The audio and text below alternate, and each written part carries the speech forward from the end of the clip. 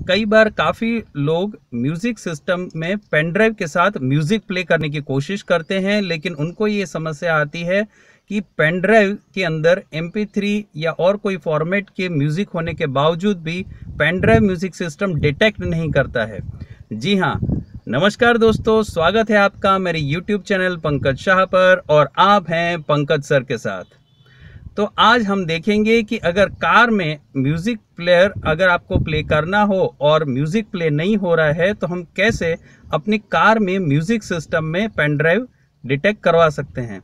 आप देख रहे हैं कि मेरे हाथ में एक पेन ड्राइव है और मैं आपको बताने जा रहा हूँ कि इस पेन ड्राइव को हम किस तरह से कार में डिटेक्ट कर सकते हैं। ये जो ट्रिक्स है ये 1D, 2D या VMA कोई भी म्यूज़िक सिस्टम के साथ ये टेक्निक आप यूज़ कर सकते हैं। पहले हम देखेंगे कि ये पेन ड्राइव डिटेक्ट होता है या नहीं होता है।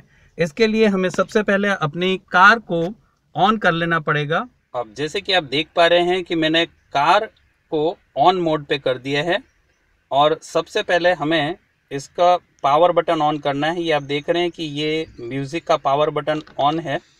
ये हम म्यूज़िक का पावर बटन ऑन कर देंगे। इसके बाद यहाँ पे आप देख पा रहे हैं कि एक यूएसबी ड्राइव का पोर्ट दिया होता है कार में।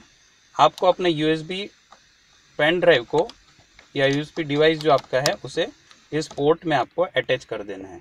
आप देख रहे हैं कि स्क्रीन पे रीडिंग आ रहा है लेकिन रीडिंग के बाद यहाँ पे एरर मैसेज डिस्प्ले हुआ। ये देखिए मैं आपको इजेक्ट करके आ, ये वापस से इंसर्ट करके बता रहा हूँ। ये रीडिंग कर रहा है और इसके बाद आप देख रहे हैं कि यहाँ पे एरर मैसेज डिस्प्ले हो गया। यानी कि मेरा म्यूज़िक सिस्टम जो है, ये पेन ड्राइव को डिटेक्ट नहीं कर पा रहा है। इसके अंदर जो फ़ाइल सिस्टम है, उसे हम ये डिटेक्ट नहीं कर पा रहा है। पेन ड्राइव में इलेक्ट्रिसिटी तो पास ऑन हो रही है। आप देख रहे हैं, पेन ड्राइव में लाइट भी ऑन हो रही है, लेकिन उसके बाद एरर मैसेज डिस्प्ले हो रहा है। अब आइए चलते हैं इसके सॉल्यूशन की तरफ़, और इसके लिए हमें चलना होगा अपने कंप्यूटर सिस्टम पे। तो गाइज़ सबसे पहले हम लोग आ जाएँगे अपने कंप्यूटर सिस्टम पे। आप देख रहे हैं, हम आ चुके हैं। यहाँ पे आप अपने धिस पीसी या माय कंप्यूटर आइकॉन पे डबल क्लिक करके इसे ओपन कर देंगे और यहाँ पे आप देख रहे हैं कि आपके हार्ड डिस्क के ड्राइव्स दिखाई दे रहे हैं सीडी ड्राइव दिखाई दे रहा है। अब यहाँ पे आके आपको अपने वो वाला पेन ड्राइव इजेक्ट करना है जो कार में नहीं चल रहा था या आपकी म्यूज़िक सिस्टम में वर्क नहीं कर रहा था। आपने देखा कि यहाँ पे मैंने जैसे ही इसे अटैच किया पीसी के साथ, यहाँ पे ये एक एच ड्राइव के नाम से डिटेक्ट हो चुका है। आइए देखते हैं इसको ओपन करके कि इसके अंदर क्या है। आप देख रहे हैं कि यहाँ पे इसके अंदर एम की काफ़ी सारी फाइलें ऑलरेडी हैं। एम पी सॉन्ग्स फॉर्मेट वाली फाइलें ऑलरेडी इसके अंदर हैं।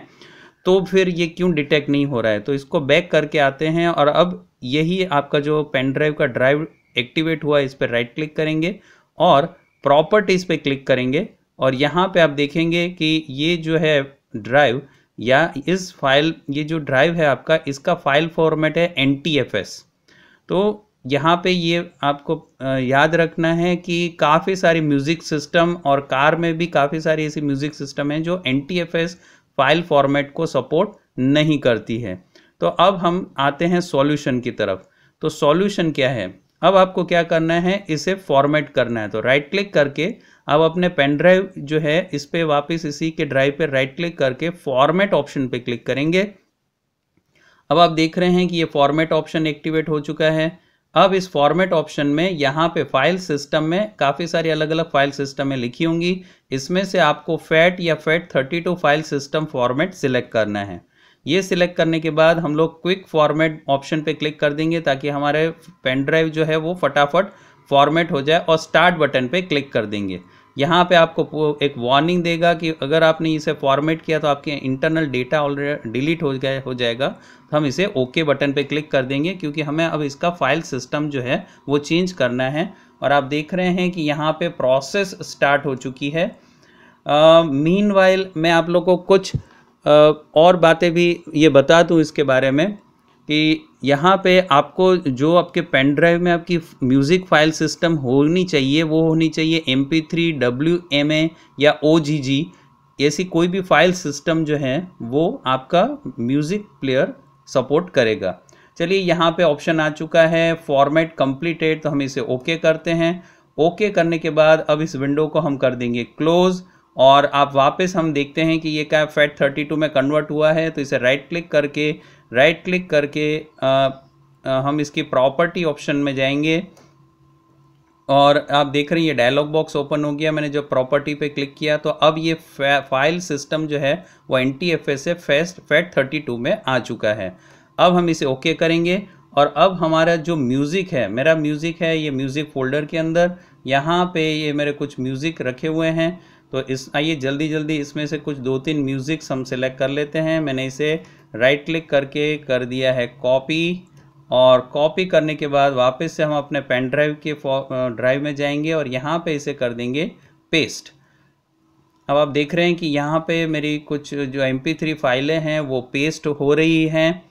तो इसे कंप्लीट होने देते हैं। आपको एक और मिनवाइल टिप दे देता हूँ कि जब भी आप अपने कोई भी यू डिवाइस को कार की म्यूज़िक के सिस्टम के साथ अटैच करें तब आपको उसे डायरेक्टली कार की म्यूज़िक सिस्टम के साथ अटैच करना है। कोई भी बीच में केबल लगा के आप उसे अटैच ना करें। कई बार ये भी प्रॉब्लम होता है कि अगर आपका फ़ाइल फॉर्मेट सही है, लेकिन केबल के थ्रू आप डिटेक्ट कर रहे हो, उस वजह से भी आपका म्यूज़िक सिस्टम इसे डिटेक्ट नहीं करता है। तो आप देख रहे हैं कि मेरा यहाँ पे मेरी सारी एम पी फाइलें कॉपी हो चुकी हैं। अब हम अपने पेन ड्राइव को सेफली रिमूव करेंगे राइट क्लिक करके इजेक्ट ऑप्शन पे क्लिक करेंगे और आप देख रहे हैं कि मेरा फ़ाइल इजेक्ट हो चुका है।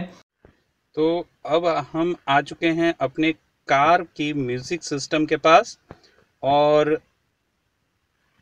यहाँ पे आप देख पा रहे हैं कि मेरी कार मैंने ऑन कर ली है। कार ऑन करने के बाद आपको अपना जो ये म्यूज़िक सिस्टम है, इसका पावर बटन ऑन कर देना है। आप देख रहे हैं कि ये डिटेक्ट हो गया है। ये होने के बाद अब हम अपना पेन ड्राइव वापस इजेक्ट करेंगे। यहाँ पे आप देख रहे हैं पेन ड्राइव का ये पोर्ट दिया हुआ है। यहाँ पे हम अपना पेन ड्राइव वही पेन ड्राइव को फिर से कोशिश करेंगे कि क्या ये डिटेक्ट हो रहा है। आप देख रहे हैं कि पेन ड्राइव डिटेक्ट हो चुका है। मैं आपको इसका वॉल्यूम भी हाई करके बता रहा हूँ। आप सुन पा रहे होंगे म्यूज़िक। नेक्स्ट ट्रैक पे क्लिक करके हम नेक्स्ट म्यूज़िक भी प्ले कर सकते हैं।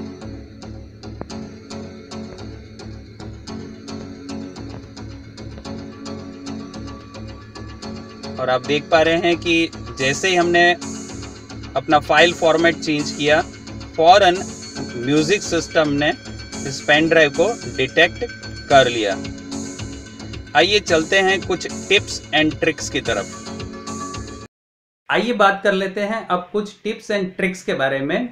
फ़र्स्ट टिप है कि आपको अगर अपने म्यूज़िक सिस्टम में या कार के म्यूज़िक सिस्टम में पेन ड्राइव के थ्रू अगर म्यूज़िक प्ले करना है तो आपका म्यूज़िक एम पी थ्री या जी फॉर्मेट में ही आपकी फाइलें होनी चाहिए।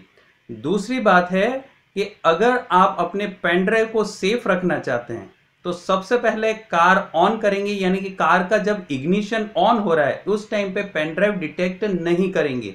यानी कि कार ऑन होने के बाद आपको अपने आपका जो म्यूज़िक सिस्टम है, उसका पावर ऑन करना है। जब उसका पावर ऑन हो जाए, उसके बाद आप अपना पेन ड्राइव इजेक्ट करेंगे, यानी कि इंसर्ट करेंगे। थर्ड टिप है कि अगर आप अपने पेन ड्राइव को रिमूव करना चाहते हैं, मान लीजिए कि अगर आप आप चाहते हैं कि मुझे म्यूज़िक नहीं सुनना है और आप अपने पेन ड्राइव को अपनी म्यूज़िक सिस्टम से इजेक्ट करना चाहते हैं तो अगर आप उसे सेफली इजेक्ट करेंगे तो आपका पेन ड्राइव भी सलामत रहेगा और उसका डेटा भी। तो सेफली इजेक्ट करने के लिए सबसे पहले आपको अपनी कार की म्यूज़िक सिस्टम जो है, उसे ऑफ़ करना है और उसके बाद ही आप अपने पेन ड्राइव को इजेक्ट करेंगे। एक और टिप मैं आपको बता दूँ कि ये जितना भी फ़ाइल फॉर्मेट और आ, हमने फॉर्मेट्स वगैरह देखा इसके अलावा आपको ये ध्यान रखना है कि आपका जो भी यूएसबी डिवाइस है उस डिवाइस को आप केबल के थ्रू म्यूज़िक सिस्टम के साथ अटैच नहीं करेंगे। डायरेक्टली अपनी कार की म्यूज़िक सिस्टम के साथ पेन ड्राइव अटैच करेंगे। तो ये कुछ टिप्स हैं जिसको आपको ध्यान रखना है ताकि आपका पेन ड्राइव डिटेक्ट रहे। एक और टिप है कि हो सके तो आप अपने पेन ड्राइव में जितनी भी आपकी म्यूज़िक की फाइलें हैं, उसे किसी फोल्डर के अंदर ना रख के डायरेक्टली उसे अपनी पेन ड्राइव के अंदर कॉपी करिए। कई लोग ये भी गलती करते हैं कि अलग अलग फोल्डर्स बना लेते हैं और उस फोल्डर्स के अंदर अलग अलग तरह के म्यूज़िक ऐड कर देते हैं, जिससे कार की, कुछ काफ़ी सारे कार की म्यूज़िक सिस्टम है डिटेक्ट नहीं कर सकती हैं। आई होप आपको ये वीडियो में बहुत अच्छे से समझ में आ गया होगा। अगर आपको ये वीडियो पसंद आया हो और यूजफुल लगा हो तो इस वीडियो को लाइक करें और अपने दोस्तों के साथ ज़रूर शेयर करें।